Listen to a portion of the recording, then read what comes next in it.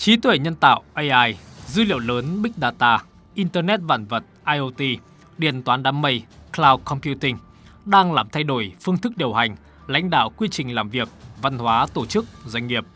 Các công nghệ mới được ví như chiếc chìa khóa số mở cánh cửa bước vào cuộc cách mạng công nghiệp 4.0.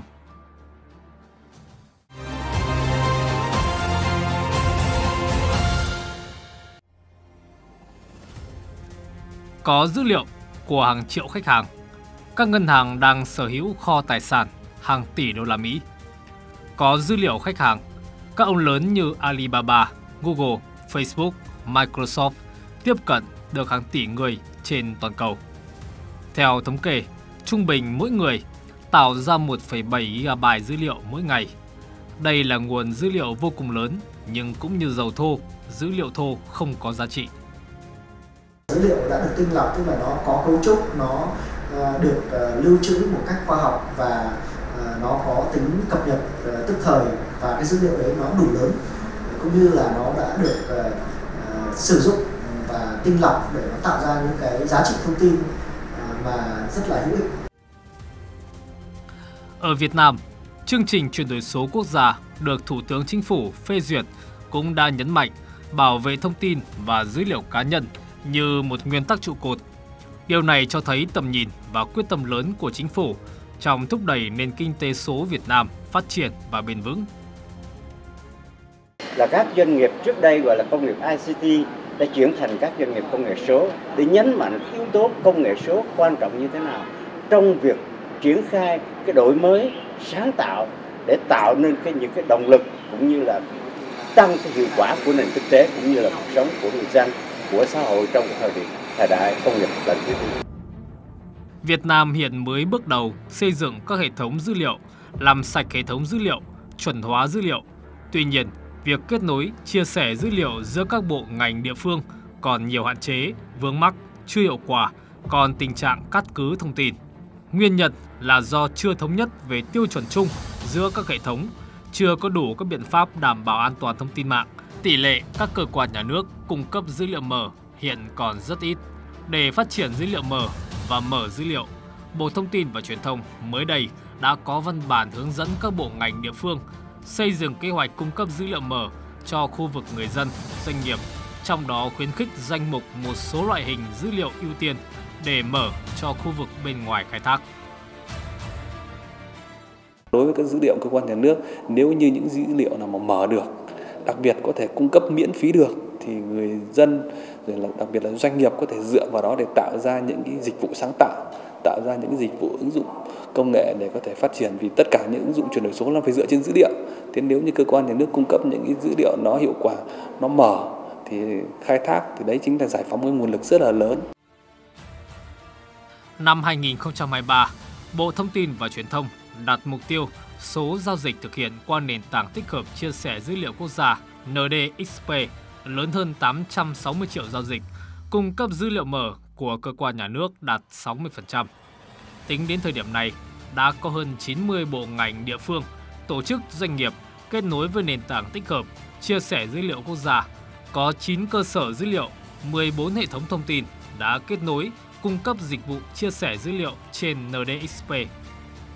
Nhiệm vụ được đặt ra trong lĩnh vực chuyển đổi số trong 6 tháng cuối năm 2023 đó là hoàn thiện nghị định, quy định danh mục cơ sở dữ liệu quốc gia, việc xây dựng, cập nhật, duy trì và khai thác, sử dụng cơ sở dữ liệu quốc gia. Dự thảo quy hoạch về phát triển hạ tầng thông tin truyền thông xác định rõ ba cấp trung tâm dữ liệu nhất là cái cấp trung tâm dữ liệu quốc gia đây thì có một trung tâm dữ liệu một đến hai trung tâm dữ liệu quốc gia do nhà nước đầu tư để phục vụ cho các cái à, dịch vụ số cũng như dữ liệu số của cơ quan nhà nước. À, trung tâm dữ liệu quốc gia đa mục tiêu để cho doanh nghiệp đầu tư. Dưới các trung tâm dữ liệu quốc gia thì có các trung tâm dữ liệu vùng. Chuyển đổi số là thay đổi thói quen cách nghĩ và cách làm của cán bộ công chức các cấp người dân và doanh nghiệp. Và điều đó không thể một sớm một chiều. Để thúc đẩy mạnh mẽ quá trình chuyển đổi số quốc gia Thủ tướng Phạm Minh Chính nhấn mạnh năm 2023 là năm tạo lập và khai thác dữ liệu để tạo ra giá trị mới với nhiệm vụ trọng tâm là số hóa, xây dựng, kết nối, chia sẻ dữ liệu giữa các bộ ngành địa phương là bảo vệ dữ liệu cá nhân, khai thác sử dụng dữ liệu để phục vụ ngày càng tốt hơn cho người dân và doanh nghiệp. Chúng ta tập trung xây dựng dữ liệu quốc gia là tài sản, là tài nguyên đặc biệt cần phải lưu trữ, chia sẻ, khai thác, sử dụng một cách an toàn, bảo mật khoa học hiệu quả, tạo nên giá trị gia tăng thông qua đó để hỗ trợ chuyển đổi phương thức quản trị quốc gia và tôn trọng quyền con người, quyền và lợi ích hợp pháp chính đáng của mỗi người dân. Và hoan nghênh các đồng chí lấy năm 2023 là năm dữ liệu quốc gia.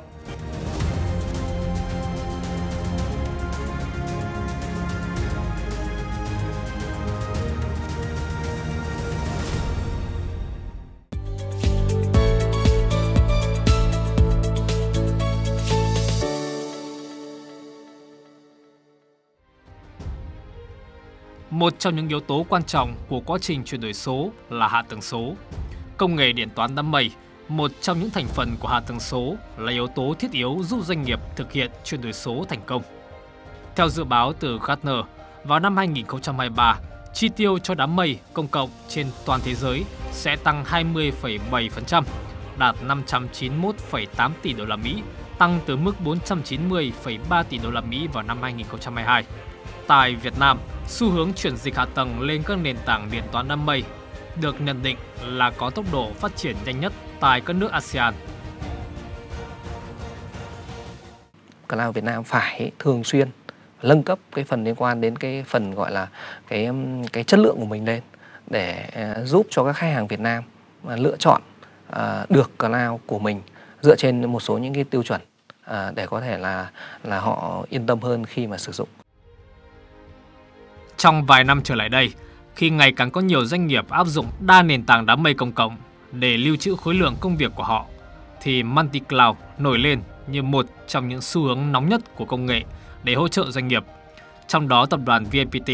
đã ưu tiên phát triển chiến lược multi-cloud trên hệ thống VNPT Cloud của mình cho người dùng trong nước, đặt mục tiêu hỗ trợ chuyển đổi số cho khách hàng khối chính phủ và doanh nghiệp tại Việt Nam. Hay FPT với sự am hiểu thị trường bản địa phát triển nền tảng cloud thế hệ mới. Việc làm chủ hệ sinh thái điện toán đám mây là cơ hội để cho các doanh nghiệp Việt sử dụng hạ tầng số trong nước từng bước làm chủ nền kinh tế số. Cloud là một trong những hạ tầng hết sức quan trọng chúng tôi đã phê duyệt cái chiến lược à, phát triển cái hạ tầng cloud đến năm 2025 à, một với một mục tiêu là đồng hành với công cuộc chuyển đổi số của quốc gia phát triển chính phủ số, kinh tế số và xã hội số đã được xác định trong các cái quyết định 942, 411 vân vân và cũng như là để mà phục vụ cho cái chiến lược về dữ liệu sắp tới chính phủ cũng sẽ ban hành. À, các cái giải pháp thì bây giờ nó không còn là một cái gì đấy nó quá phức tạp và chúng tôi à, từ cái việc mà học hỏi à, nước ngoài thì chúng tôi tự, tự tin trong cái việc xây dựng cái nền tảng cung cấp cho doanh nghiệp Việt Nam. Hồi tháng 10 năm ngoái, tại sự kiện ra mắt hệ sinh thái Viettel Cloud, Bộ trưởng Bộ Thông tin và Truyền thông Nguyễn Mạnh Hùng cho biết, cấu phần quan trọng nhất của hạ tầng số Việt Nam là điện toán đám mây. Nó lưu trữ và xử lý dữ liệu Việt Nam tại Việt Nam. Nhưng hiện nay, trong số các doanh nghiệp Việt Nam sử dụng điện toán đám mây, 80% dùng sản phẩm của nước ngoài, đặt tại nước ngoài. Bộ Thông tin và Truyền thông cũng kêu gọi doanh nghiệp Việt Nam hãy trở về nhà mình. Dùng hạ tầng điện toán đám mây Việt Nam, 80% đang ở nước ngoài, hãy về Việt Nam. Người Việt Nam thì ưu tiên dùng hàng Việt Nam. Chiến lược quốc gia về phát triển kinh tế số và xã hội số đến năm 2025, định hướng đến năm 2030, đạt mục tiêu đến năm 2025, tỷ trọng kinh tế số đạt tối thiểu 20% GDP. Để sớm đạt được các mục tiêu tại Diễn đàn Quốc gia Phát triển Kinh tế số và Xã hội số lần thứ nhất diễn ra tại Nam Định, trưởng Ban Kinh tế Trung ương Trần Tuấn Anh cho rằng các bộ ngành địa phương cần tìm ra không gian phát triển mới cho cơ sở dữ liệu quốc gia trí tuệ nhân tạo AI. Cần tập trung triển khai đề án phát triển ứng dụng dữ liệu dân cư, định danh và xác thực điện tử để phục vụ cho chuyển đổi số quốc gia giai đoạn 22-25 tầm nhìn tới năm 2030, mang lại những lợi ích thiết thực cho người dân, thúc đẩy sự liên kết liên thông dữ liệu, chia sẻ cao giữa các bộ, ngành địa phương, giữa các cấp và chính quyền. Có thể thấy, xu thế phát triển kinh tế số là lựa chọn tất yếu hiện nay và là tương lai đối với tất cả quốc gia trên toàn cầu. Đối với Việt Nam, đây là chìa khóa đưa đất nước thoát khỏi bẫy thu nhập trung bình và hướng tới mục tiêu trở thành nước phát triển vào năm 2045, đồng thời là biện pháp tối ưu nhằm thực hiện hóa khát vọng phát triển đất nước Việt Nam hùng cường, thịnh vượng.